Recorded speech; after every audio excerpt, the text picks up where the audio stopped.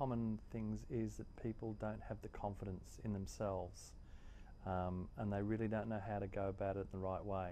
Mm. And so, you know, what we try and do during the training is to talk about those things and to talk about the power, power that people have within themselves um, so they can actually speak up for themselves, you know, and feel confident to be able to do that. And I guess sometimes also people have had bad experiences in the past where they haven't been listened to um, and haven't had their voice heard, so they're a bit scared to do it again, you know, so we need to make sure that we're listening to what people are saying to us. Trying to instill in people that they have a power within themselves, you know, so that they can be powerful people without being scared and also doing in the right way. So, you know, speaking up in the right way, we can often do it in, in a bad way and, and people won't listen to us and walk away from us. But, you know, if we tell people about doing it in a, the right way, in, in an assertive way, then people will sort of feel that power and be able to go and, and talk to people. And if they still can't do it, to get help, to get someone to help them, you know, not feel scared to ask friends or family or an advocate, a professional advocate, to be that, that voice that for them and everybody in the room here is a human being. Doesn't matter who we are, what we look like, what language we speak, uh, what country we were born in. We're human beings. Human rights are for everyone, but sometimes uh, it can be hard to have our human rights because people try and take them away, but they're always with us inside. People with disability have human rights. The United Nations Convention on the Rights of Persons with Disability, this UN CRPD. Uh, and these human rights uh, make sure that people with disability are not forgotten as human beings. We have laws in Australia that protect your human rights. The Australian Human Rights Commission. In Victoria, human rights are also protected through law. And we have the Charter of Human Rights and Responsibilities in Victoria. Victoria is the only state to put human rights into law. Freedom in the community to go shopping, to have friends, to say, I don't like this government. E is for equality, to be treated the same as anybody else. So it shouldn't matter what country a person was born in, the colour of their skin, the language they speak, or their beliefs. The best advocacy is the direct support, finding out what the issue is and dealing with the issue. Remember, we have rights, and these are some really important rights the right to get advocacy support, to be treated with dignity and respect, to be treated equally, the Victorian Equal Opportunity and Human Rights Commission is a government service. Office of the Public Advocate, the Mental Health Complaints Commissioner is a government service. And you'll find that all these services have a way that you can make a complaint. We start by everybody grabbing one set of pliers and one of the trays. We're making something like this today. Oh, oh, oh. First, take your gold wire. Then you take the pliers and you want to put the wire in the middle. And then turn it away from you.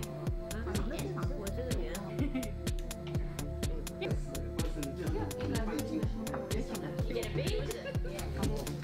And put the bead on.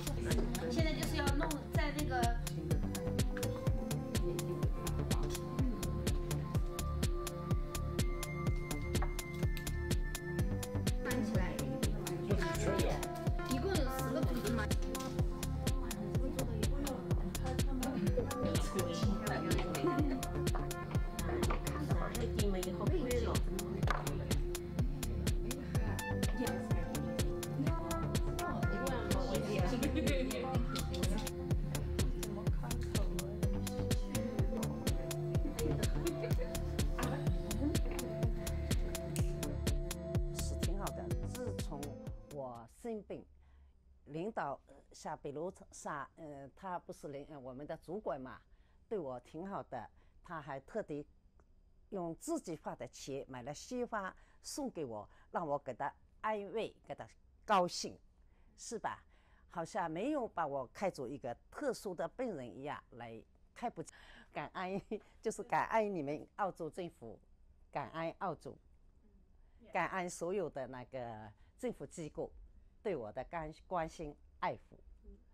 哦，我叫李兆华，嗯，然后我是来澳洲已经十八年了，嗯，我刚来的时候，大概十四个月的时候，儿子就是不能正常读书了，然后医生的诊断就是他有精神上的问题，然后那个时候我真的是有点崩溃，然后因为这个突然之间的事情发生，我真的是那个时候真的很困难，我就是没有办法去，嗯，就是处理这个事情。当时我真的很感激我的一个心理一个专家叫 Judy 的，他就到来家来我家看我的时候，他就帮助我，就找到了就是嗯政府这边的各各种的 service 能够。帮到我，然后我真的那个时候是真的是没路可走，然后这个 Judy 就帮我，就是找了各种的 service 能够帮到我儿子的，然后就一步一步的治疗，到现今已经是十八年了，这个情况是越来越好。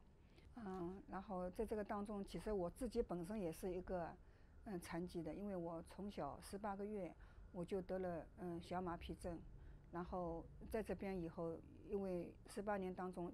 也没有得到任何的那种，就是身体上的那种帮助和就是资源，因为我一直在照顾我的儿子，所以我也就把我自己就是自己的身体什么事情我也就没当件事情在在照顾自己，所以一直到拿到了的 NDIS，我真的是深切的体会到，真的是现在这个政策帮到我了，真正的帮到我的需要，然后现在我也拿到了 funding，也拿到了那个，嗯，这个在使用这个。方顶的同时，我也真的心里面很感激这个澳洲政府这个新的这个营销人士的一个政策。嗯，在这个那么多年当中，我跟那个嗯 ADEC 这个 service 已经有很多的年数的嗯就是接触。嗯，从零二年吧，二零零二年一直到现在十七年，嗯，我一直在这个 service 当中受益，也是能够就是咨询到很多的那种嗯就是。各种的资讯吧，就是对，能够就是我们知道这个现在政府有这边有什么，嗯，就是能够帮到我们的，有很多的团体能够帮到我们的，嗯，所以我一方面是很感谢 ADEC 这个 organization，然后我也非常的就是为我们的小组啊，为我们的小组，我们的 ADEC 的小组，嗯，我们是 Chinese group，嗯，然后。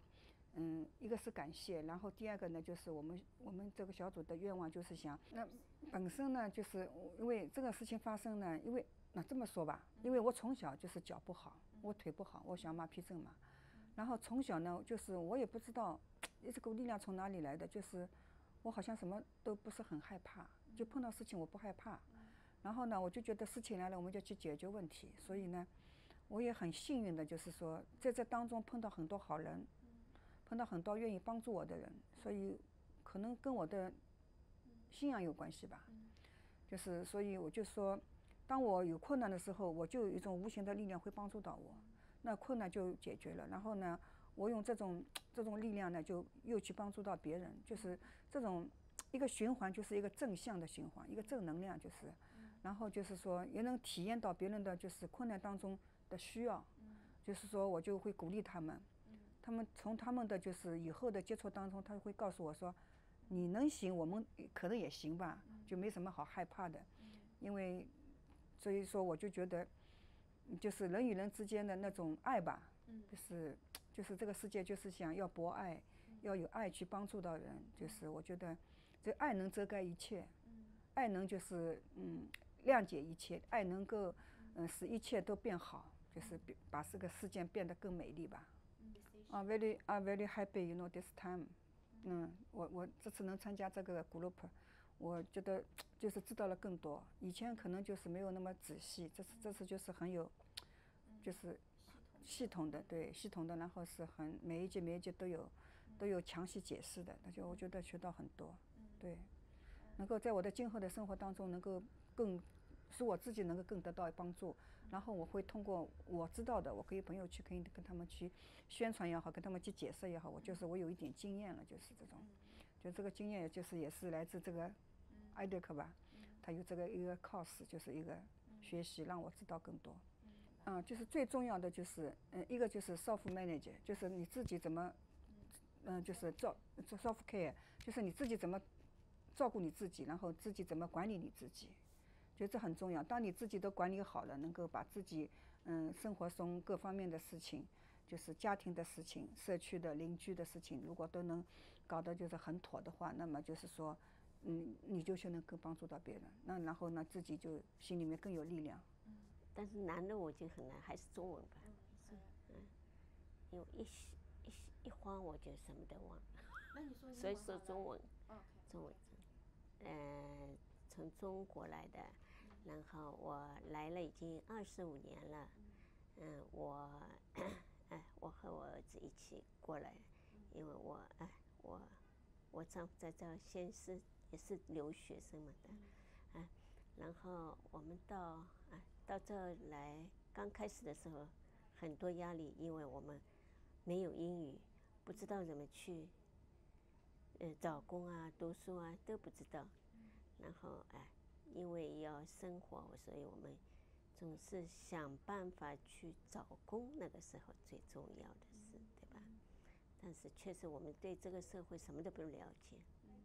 嗯，还有就现在我就说，你自己的一些情选啊，我自己的情况啊，然后然后我后来就是也经常找。零工开始的时候找零工，然后，嗯，做了很多地方吧，应该是，然后这最后我就是做的是，嗯，就是 nursing care 的这个，educare 就是，呃的 work，就是后来就受伤了，嗯，然后就是，哎，就那个时候就觉得压力特别重，因为。都是出去也不是哎，对，出去也不是很方便，脚啊什么，就我们因为也不知道怎么办，就是说，哎，就是压力这个时候是很重的，因为你出又不出去，又在家里，因为我又是脚一会儿麻掉，一会儿手麻掉，就是说出去很不不方便，但是我们确实不知道怎么去联系谁，我也不知道，那个时候真的。压力很大，所以就哎，经常看心理医生啊，或者什么，一直在治疗。So I have a younger sister who has an intellectual disability, and so she needs a lot of care and support. Um, and also my parents, they're from China, so they immigrated here to Australia around 25 years ago or so. And so I guess there's difficulties in language for them, and as a sister, as an older sister, I'll have to take care of my younger sister by like helping my parents translate things and um, going to meetings with them. In terms of family, um, my sister would be the main focus because she does need a lot of attention and help. Um, so I guess sometimes like I might feel a little bit neglected, but like it's I guess to me I think it's normal for that to happen because with my sister's intellectual disability, um, there can be lots of symptoms. For example, um, sometimes she might just, you know, have a burst of temper and just, you know, erupt all of a sudden. And like it's hard to keep her calm, and I guess that makes life difficult sometimes. ADEX always helped my sister coordinate her NDIS plan, and so we found out from our coordinator uh, support coordinator that there was this mentoring program. So that was a really good experience to learn about like the experience of other carers and to be able to know that there's other people uh, around here that are experiencing like similar things to me. Like I felt like I found a lot of comfort and support from that. Self advocacy, I had never thought about that before. So being able to know that you know we have our rights and that we can like we should be able to speak out and like learning the skills to speak out as well. Self care as a carer was very important to me um, because I think in the disability sector, I guess like the focus is of course on the person with the disability themselves. So I guess the carers are usually neglected in some way. So I thought that this program was really special in that it focused on the carers. That helped a lot and um, just learning about the self care, like how to care for ourselves, because I feel like personally I'm not very good at that. so just being in like a small group where we can, you know, have fun talking about all these different things and like sharing our experiences with each other, I think like that's very, like it makes me feel a lot closer to being as a carer. Yeah, I have never like really shared my experience of being a carer with other people before other than my family. So just being able to do this and having people who understand what you're going through.